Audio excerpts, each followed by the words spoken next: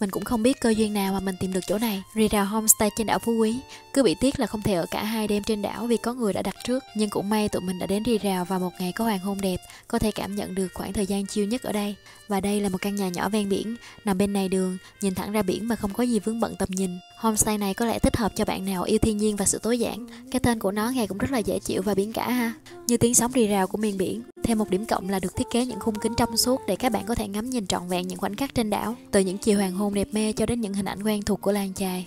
Rì rào theo phong cách tối giản cho nên mọi thứ đều nhẹ nhàng, tự nhiên. Nhờ những chiếc cửa kính mà trong nhà luôn tràn ngập ánh sáng, các chất liệu cũng được sử dụng thân thiện với môi trường. Như cái hành lang này chụp hình lên cực kỳ ảo diệu nè, đặc biệt là những khung giờ có nắng. Thêm một điểm cộng riêng tư nữa vì ở đây có hai lầu và chia ra hai phòng riêng biệt. Phòng mà tụi mình bút được là phòng lầu dưới có tổng cộng là hai giường cho bốn người ở, còn phòng lầu trên sẽ có một cái giường và cái view nhìn ra biển rất là đẹp. Bởi vậy nếu muốn ở đây thì các bạn phải tranh thủ đặt sớm nhất có thể nha. Hôm bữa là mình tìm trên fanpage và đặt trực tiếp qua đó luôn. Phòng mình sẽ sử dụng toilet ở phía sau, mọi thứ đều đơn giản nhưng mà rất là xinh, có đầy đủ đồ dùng và nếu các bạn bước vào nhà tắm sẽ có một bất ngờ đó. Cá nhân mình sẽ chấm điểm 10 cho cái nhà tắm này. Nếu mà check in sống ảo thì cũng đừng bỏ qua góc này nha.